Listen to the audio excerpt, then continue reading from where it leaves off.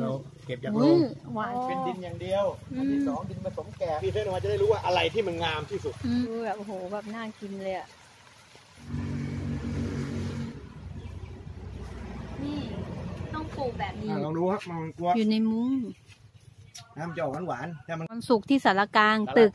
ไปถึงนู่นกันเราบ่ายอ๋อช่วงจะได้ขายได้อันนี้เห็ดเป่าฮื้อกินแล้วจะมึนหัวอัตึนบนี้ของเราไม่เคยพ่นถ้าเราฉีด อ๋อแต่ฉีดยาฉุน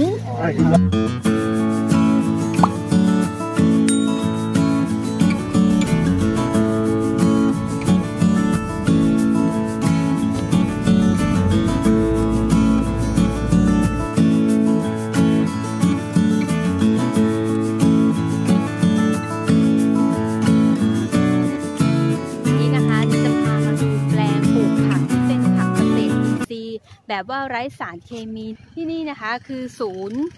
ศึกษาและพัฒนาการอ่าวคุ้งกระเบนนะคะ ในเป็นโครงการพระราชดำริของในหลวงรัชกาลที่ 9 นะคะ เดี๋ยวเราจะไปดูแปลงผัก ซึ่งแปลงผักเนี่ยจะอยู่อีกด้านหนึ่งของศูนย์นะคะเพื่อนๆอีกฝากถนนหนึ่งนะคะเป็นแบบในส่วนของงานวิชาการนะคะ นี่เลยค่ะสวัสดีค่ะ คือเป็นที่ขายปะ เป็นที่ตึงเป็นตึงที่ไอ้นั่นทำเป็นที่แพ็คผักอะค่ะอ๋อ เป็นที่แพ็คผัก เป็นหญ้าพันธุ์งูเขียวที่เนยเคยทำคลิปไปนะคะเพื่อนๆอันนี้เขาก็เอามาปลูกด้วยนะโอ้อันนี้เป็นผักปลอดสารนะคะ ก็เป็นวิธีการที่ทางนี้เขาทำกันนะเนาะผักเยอะมากเลยค่ะเพื่อนๆพี่แวนนี่ก็จะเป็นหน่วยสำหรับส่งผัก มาแล้วหัวหน้าเดี๋ยวตามหัวหน้ามาเลย เพื่อนอันนี้คือถั่วค้างตื่นเต้นมากเลยค่ะ เพราะว่าเนยพยายามจะปลูกถั่วค้างมันไม่สำเร็จสักทีเลยนะคะ อันนี้เป็นแบบถั่วที่ปลอดสารเคมีอะขออนุญาตกินได้อืมไม่รู้เดี๋ยวต้องถามนักวิชาการเขาก่อน อันนี้ระหว่างที่รอนักวิชาการนะคะ เราก็จะเดินชมผักปลอดสารแบบทั้งหมดนี้ก่อนนะคะ เดี๋ยวจะมีนักวิชาการมาอธิบายให้ฟังนะว่า กระบวนการในการที่เขาปลูกขึ้นมา ตั้งแต่ขั้นตอนการปลูกวิธีการรวมถึงการทำการตลาดด้วยว่าเขาทำแบบไหนยังไงนะคะเพื่อนๆมันก็จะเป็นทรายแดงๆทรายขาวเลยอืมก็ประมาณนั้น หลังจากนั้นแล้วก็ปรับปรุงดิน แล้วก็ทำระบบการปลูกพืชแบบนี้ และนี่ก็คือนักวิชาการที่เนพูดถึงนะคะ ก็คือ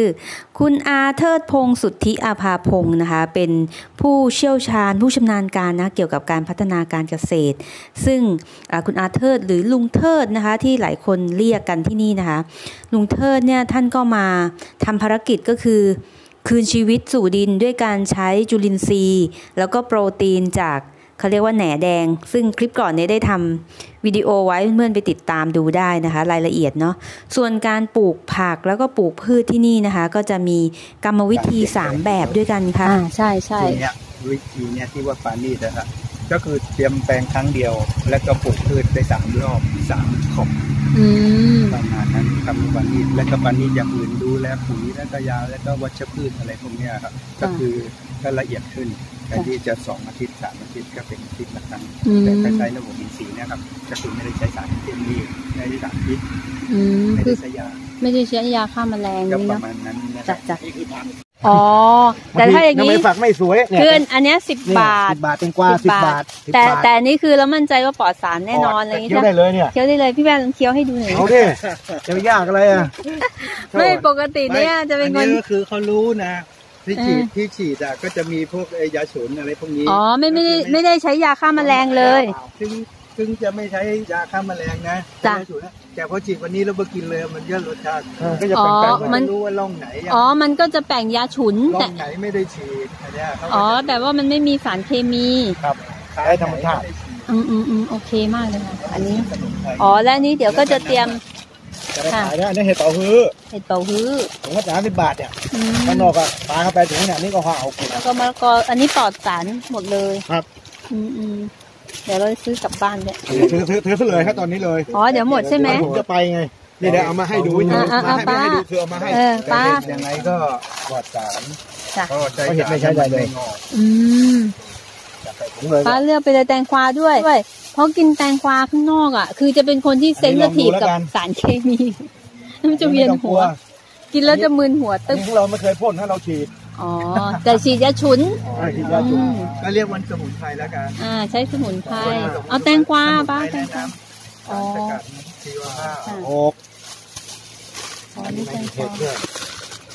อันนี้ของเขาเลยไปถึงเก้าต้องกับไอ้ดูแลเก้าสิบมะเร็งด้วยอันนี้ใส่มาก็เอากินแล้วลองดูครับแบบกินรสชาติจะเป็นไงมันจะหวานค่ะแล้วเป็นเนี่ยจะบอกว่าที่บอกอันว่านี้แคร์คนเมืองอะบอกว่าเนี่ยแค่พื้นที่ตารางแค่สี่ตารางเมตรเนี่ยอืมมีไอ้นี่สองต้นหรือต้นเดียวยังพอเลย แล้วก็พืชผักที่หลักๆ เช่น พืชที่ปลูกครั้งเดียวแล้วกินได้ยาวอย่างเช่นอะไรผัคะกผมแล้วก็มะเขือมะเขือครับแล้วก็กุ้ยช่ายกุ้ยช่ายใช่มะเขือที่เป็นแบบเสียบเสียบต้นตอมะเขือยักษ์นะครับปลูกเอาไว้ขายใช่ไหมคะอันนี้ปลูกเอาไว้ขายแล้วก็ทดลองปุ๋ยอะไรด้วยอ๋อปลูกเพื่อทดลองปุ๋ย อันนี้คือมะมะเขือม่วงอืมนี่อันนี้นี่ที่น่าสนใจเอลที่ เอลที่ที่พูดอะนะ จ้ะที่มีข้อมูลนะว่ามันเป็นซูเปอร์ฟู้ดอ่าใช่ใช่เอลเป็นหนึ่งครับใช่ใช่เป็นเป็นเบอร์หนึ่งเลย ค่ะ แล้วก็ค่าตัวเลขที่บอกว่าเป็นซูเปอร์ฟู้ดอะสูงที่สุดค่าออแลกจะเยป็อะนอะก็จะเป็นอ่าเป็นแหล่งที่อ่าน่าเชื่อถือด้วยอืมอืมจ้ะก็คือเป็นเบอร์หนึ่งปรากฏว่าผักขมเราอะ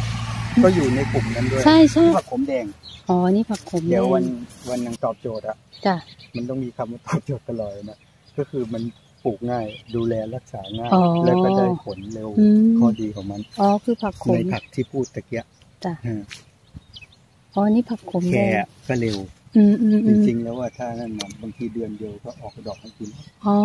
เมื่อก่อนลุงเคยไปอยู่ เป็นเหมือนตามรอยพ่อนะจ้ะ แคร์นี่ได้กินเกือบทุกวันอืมสามต้น แบบว่าจะไม่มีอาหารอย่างอื่นยังจะได้เลยอ๋อเบื่อนั่นก็คือผักขมเขียว แต่ในในเอกสารบอกว่า ผักขมทุกสายพันธุ์คุณค่าอาหารใกล้เคียง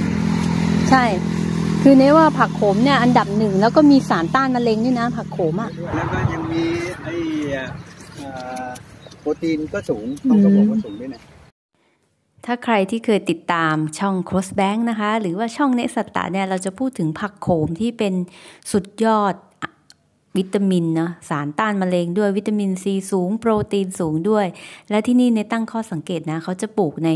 ถุงหรือว่าในตะกร้านะคะเพื่อวัตถุประสงค์ก็คือง่ายต่อการควบคุมนะคะ ง่ายต่อการที่จะบริหารจัดการต้นไม้นั้นๆเนาะเพราะว่าบางทีเราลงดินเนี่ย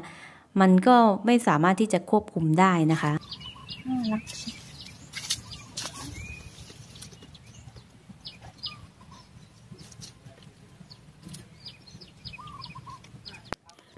พื้นที่ตรงบริเวณนี้นะคะ รวม 30 กว่าไร่นะคะเพื่อนๆก็จะปลูกพืชทั้งมีทั้งพืชที่เป็นเหมือนแบบไม้ที่ต้นใหญ่ แล้วก็เป็นพวกที่พืชผักสวนครัวด้วยเนาะเขาจะมีการทดลองเป็นแปลงๆไปนะคะ เป็นโซนๆไปเนาะแต่ว่าเต็มพื้นที่เนี้ยจะมีการปลูกพืชปลูกผักปลูกต้นไม้ทั้งหมดเลยนะคะ คือไม่ได้ปล่อยเว้นว่างไว้นะคะ อันนี้พวกหนูๆมาปลูกเห็ดกันใช่ไหมใช่ปะ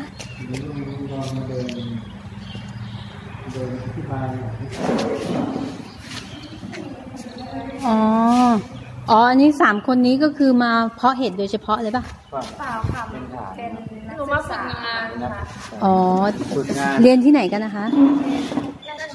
อ๋อ ราชมงคล ต้องมาที่เนี่ยถึงจะรู้นะคะ เพื่อนๆ มันเยอะมาก เต็มเลย ลองเอาเก็บไปสักลูกได้ไหมปลอดสารหรือเปล่าดูสิเนี่ย มีมดมดมดเห็นไหมคะมดมดอันนี้คือเขาไม่ได้พ่นยานะ จริงแล้วมันอันนี้แบบยังอ่อนมากเลยนะคะ เพื่อนๆดูสิ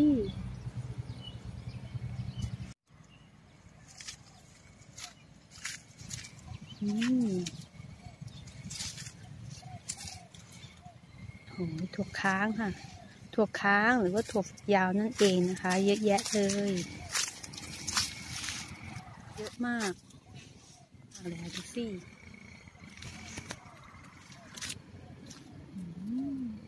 ต้นไหลอันนี้มะม่วงหาวมะนาวโหนะคะเนี่ย มันมีหนามด้วยนะเพื่อนๆเออนี่ดูได้เนี่ยครับเอาเอาเอาแถบเอาแถบที่ยังไม่ได้ตัดอะ เนี่ยพอมาขายพวกนี้จะไปขายเป็นเป็นที่ของเอออันนี้เป็นผักอะไรอะคะกาดขาวอะครับ อ๋อเขาปลูกแบบกลางมุ้งแล้วมันก็เลยทำให้แบบไม่มีแมลงไม่มีอะไรเนี่ยเนาะใช่เพราะว่าเด่นคือเราต้องไม่ให้มีแมลงเท่านั้นเอง แต่ว่าไม่ได้เน้นเรื่องว่า และอย่างการใช้พื้นที่น้อยลงอะใส่เข่งเนี่ยอยู่กับบ้านไว้บนตึกบนเขาบนอะไรที่เรามีที่อยู่แล้วก็ใช้ได้แล้วอ๋อแล้วเมื่อกี้ตรงไหนมะเขือเทเนี่ยศเนี่ยเนี่ยมามานี่ ก่อนประเทศต้องต้องพรุ่งนี้แหละ ไม่นารีบกลับอะ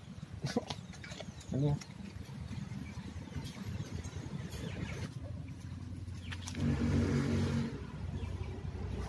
นี่ต้องปลูกแบบนี้นะคะปลูกในตะกร้าแบบนี้ นี่ผักเต็มเลยรวมขอชมฟรีแล้วก็เก็บไปอย่างนี้ใช่ไหมเย็นคะ เป็นนี่มันไม่ใช่ว่าเราใส่ยา มันเป็นคราบอันนี้เฉยๆของพวกมันอย่างเงี้ยครับ อ๋อ มันเป็นแบบว่า น้องอืม มันเป็นอทำอร์แกนิกงงมาก ออร์แกนิก ต้องแดงเยอะมะเขือเทศพันธุ์อะไรครับมะเขือราชินี ครับราชินีนี่มะเขือเทศราชินี อะลองดูครับมันกลัวอยู่ในมุ้ง น้ำจะออกหวานๆถ้ามันอะเนี่ยถ้างอมมากๆเนี่ยอืม เป๊บเลยล่ะอืมอืมลองอ่าอันนี้ดีกว่าลองลองอ่าลองเลือกเลือกแดงนี่ ๆมาไม่ตั้งโอ้ในรวงเดี๋ยวได้ เอเราอเก็บจากโรอุ้ยงหวานมากเลยอะ อะอืม เราไม่ใช่เนี่ยใช้ใช้ปุ๋ยหมัก ที่ว่าปุ๋ยหมักเติมอากาศอืม ทำโรงเรือนแบบเรียบๆง่ายๆใช้โทรลิสรอนเราไม่ต้องไปใช้เหล็กแค่แป๊บอะไรหรอกโห ไม่น่าเชื่อเลยปกติไปกินมะเขือเทศราชินีมันจะไม่หวานอย่างเงี้ยค่ะ เราถ่ายเราล่องมาเลยนะอืม สีสวยมากอืมเลือกเอาล่องไหนและการทำหญ้าการทำกำจัดวัชพืชมันยังง่ายกว่าที่กระปลูกในดินลงทุนครั้งเดียวจบเลย พื้นที่เท่าไหร่ครับพื้นที่อันนี้ก็มันสิบห้าเมตร เมตรหนึ่งนับหนึ่งสองสามสี่ห้าหกเจ็ดแปดเก้าสิบสิบเอ็ดสิบสองห้าสองสองก็เราอะคูณสิบได้คูณแปดแล้วแต่เราไม่จำกัดเรื่องในที่พื้นที่อะอันนี้เขามีหลายร่อง อันนี้ตอนที่มันยังไม่สุกนะคะ เพื่อนๆจะเป็นสีนี้นะถ้ายิ่งงอมอะยิ่งงอมยิ่ง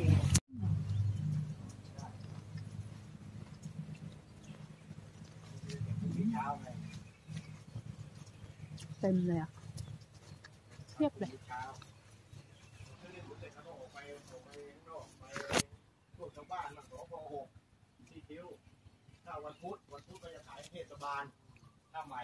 อำเภอท่าใหม่วันพฤหัสเราก็ขายให้พวกชาวบ้านทั่วไปวันศุกร์เราก็ไปขายที่ไอ้สารกลางอันนี้วันจันทร์ขายที่ไหน ครับกิโลอันนี้กิโลละร้อยครับ วันจันทอ๋อร์มะเขือเทศราชินีปลอดสารกิโลละหนึ่งร้อยบาทวันจันทร์วันจันทร์เราก็จะนำผักไปขายที่ศูนย์คุ้งกระเบนอืมศูนย์คุ้งกระเบนวันจันทร์ส่งคุณกระเบนครัเอาบวันอังคารเราก็แล้วก็เราก็ขายให้พวกคนทั่วไปด้วย อื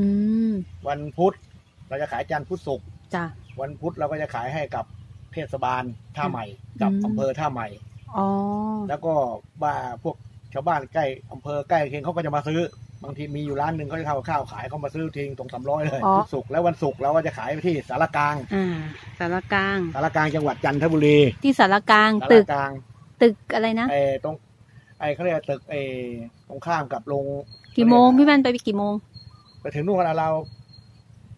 น่าจะบักอยู่ตรงข้างโยธาจังหวัดเดี๋ยวก็เห็นรถจอดการวิชาการอะ อ๋อโอเค วันศุกร์ครับ เดี๋ยวเผื่อไปเจอกัน ถ้าเราอยู่กับในถุงเนี่ยอะไรมันลำบากอย่างนี้เราอยู่ไปเลย ใส่ตะกร้าไปเลยแล้วมันแล้วมันก็ให้ลูกแค่นี้มันก็เหอให้ก็อยู่ที่เราให้ปุ๋ยมัน คือถ้าถ้าอาหารมันพอมันเราก็ไม่ต้องไปมันก็ไม่อ่ามีมีปัญหาอะไร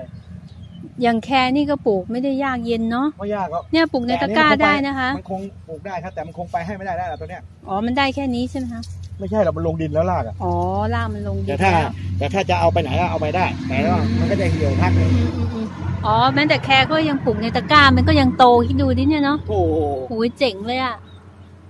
มันอยู่ที่เราให้ปุ๋ยมันอืมต้องดูว่าเพราะว่าอย่ามองเป็นอืมทรายเรา ต้องให้ได้อาหารปลูกในตะกร้านะคะ ไอ้หนูพุทราเขาพุทรานมสดเออเข้าท่าใช้ตะกร้าปลูก เพราะว่าอย่างคนในเมืองก็จะได้ปลูกได้ปเนาะ ลูกได้ก็ไม่มีที่อุ้ยไม่มีอะไรอะเราก็คอยเติมดิน เติมดิน ดินมันก็อืม ไม่ต้องยุบแน่ใช่ใช่ ๆเติมดินเออ ใส่ปุ๋ย โอ้ยแจ๋วเลยอะเป็นไอเดียที่สุดยอดมากเลย อยู่ที่เราดูแลมัน ค่ะ ถ้าเรามัวแต่ให้ให้หวานอย่างเดียวไม่รู้เรื่องรู้ราวเลยตายหาเลิกอืมเนี่ยฝรั่งใส่คงใส่เข่งต้นมงต้นไม้เออฝรั่งเนี่ยก็อยัองกออกเนี่ยตอนขายได้กิ่งกันน่ะไอ้อืมอะไรนั่นน่ะฝรั่งยังใส่เข่งได้เนาะเจ๋งเลยอะสำคัญขอให้เราเราทำเพราะนั้นมันทำได้อยู่แล้วใส่นะใจอะพวกนี้มันต้องใส่ใจมันอืมเนี่ยสาระแหน่ก็ใครปลูกปลูกปลูกตายปลูกตายอะโอ้ยงามมากเลยอะกุ้งไงเอากุ้งเนี่ยเป็นพืชที่อายุปลูกได้เร็วใช้เวลากี่วันนะคะผักบุ้งอะเอากุ้งนี่ยี่สิบวันก็กินได้แล้วโอ้ยี่สิบวันก็กินได้แล้ว แต่เนี่ยหน้าฝนไม่ดีตรงเนี้ยเพี้ยเนี่ย แล้วเราอ๋อแต่ใช้ยาฉุนใช่ไหมคะครับเนี่ยเพี้ยแป้งลายแดงเชื้อราอ๋อแต่มันแต่ต้องมีแกะพวกนี้จะโละทิ้งเลย แล้วเวลาใช้ยาฉุนทำไงอะเอาผจะสมแช่แช่แช่น้ำแช่หมักไว้คืนอืมพรุ่งนี้เช้าเราก็เอามาผสมน้ำ ใช้ยาฉุนอย่างเดียวไม่เกี่ยวกับอย่างอื่นเลยไม่ใช่ไหมไม่เราถุนคือไล่ให้มันอ๋อแต่อันนี้เราคือไม่ได้ฆ่ามันฮะไล่ไล่กระดูดูอ๋อเขือเปาะสิลูกขาวน่ะนะอืมมันมีมะเขือยาวหมอถอนไปแล้วนู่น แปลงมะเขือเปราะแล้วเด็กก็ทำได้งามขนาดนี้เลยเหรอทีหนึ่งอาหนึ่งทีหนึ่งอาสองคือตัวอย่างแรก อันนี้อาจจะอ๋อ เป็นดินอย่างเดียว อืมอันที่สองดินผสมแกบอันที่สามดิน ดินผสมหมดทุกอย่างอันนั้น ใส่อืมปุ๋ยเคมีใส่ปุ๋ยหมักใส่เอ่อปุ๋ยธรรมชาติ แล้วแต่ให้เขา ตั้งตั้งอันนี้ขึ้นมาคือทดลองทำ อ่าดูเนี่ว่าย แล้วแล้วมาเปรียบเทียบว่าเวลาพรีเซนต์ออกมาจะได้รู้ว่าอะไรที่มันงามที่สุด อืม ระหว่างเคมีกับเออแล้วก็ต้องมากินด้วยว่าอันไหนจะกรอบกว่ากันใส่กี่โมงถึงกี่โมงตลอดเวลา